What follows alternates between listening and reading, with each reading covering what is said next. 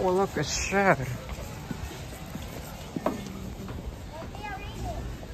My gosh.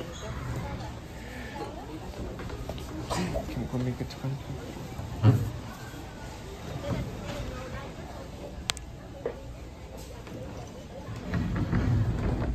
We're gonna close it all the way for, for safety.